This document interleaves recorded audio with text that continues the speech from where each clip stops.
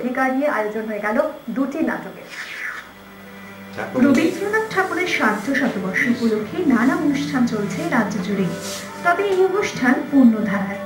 রবি ঠাকুরের লেখা সেরা দুটি নারী কেন্দ্রিক উপন্যাস দেনা পাওনা ও স্ত্রী পত্রকে সমসাময়িক প্রেক্ষাপটে মঞ্চস্থ করলেন এক স্বেচ্ছাসেবক সংস্থা শেল্টার ফর হার এম্পাওয়ারমেন্ট পণ প্রথার প্রতিবাদ স্বরূপ রবি ঠাকুরের লেখা দেনা পাওনা অন্য রূপ পেল মঞ্চে।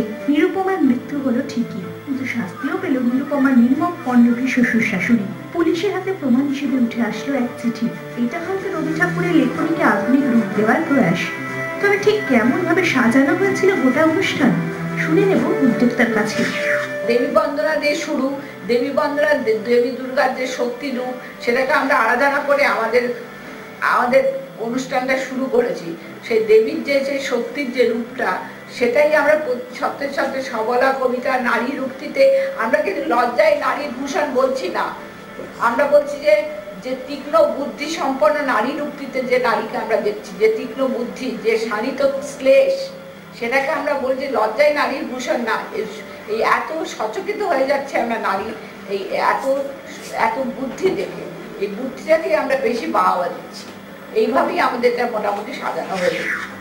নারী অধিকার ও মর্যাদা নিয়ে সারা বছরই কর্মপ্রতি এই স্বেচ্ছাসেবক সংস্থা।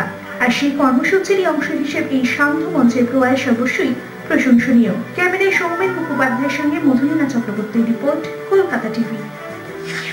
আঠেরো বছর ধরে সমকালীন নৃত্য ধারাকে শিল্প জগতে প্রতিষ্ঠা করতে স্যাফায়ারের লড়াই চলেছে। সময় সময় এই জনপ্রিয় নৃত্য গোষ্ঠীর পারফরমেন্স